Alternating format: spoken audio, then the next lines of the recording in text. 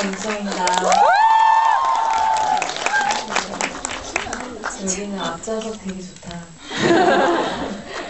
근데 영화 보기가 좀 어렵지 않으셨어요? 아, 네. 어떻게 보셨어요, 영화?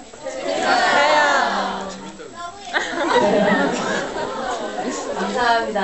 아니, 저희가 어제부터 서울 유료 시사회를 시작했는데, 서울에서도 무대 인사를 다녔는데, 음, 다들 정말 재밌게 봐주셔가지고, 저희가 어떻게라도, 뭐, 절이라도 드려야 될 정도로, 너무 반응이 좋아요. 그래서 기분이 좋은데, 주변 분들께 많이 얘기해 주세요. 네, 저희 이번에 정말 잘 돼야 됩니다. 도와주세요. 네, 감사합니다. 안녕하세요.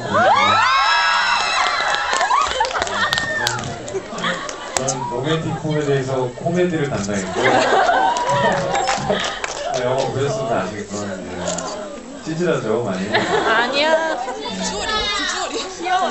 뭐 오랜만에 굉장히 하고 싶었던 이제 영화를 너무 하고 싶었는데 한 5년 만에 한 작품이더라고요. 그래서 뭐 딴에는 굉장히 열심히 했는데 아무래도 공백이 있다 보니까 좀 부족함이 많았던 것 같아요 스스로도. 그래서 옆에 계신 이 두 분이 굉장히 많이 도와주셔서 더 좋고 재밌게 촬영하고 좋은 영화가 나오지 않았나 생각이 됩니다.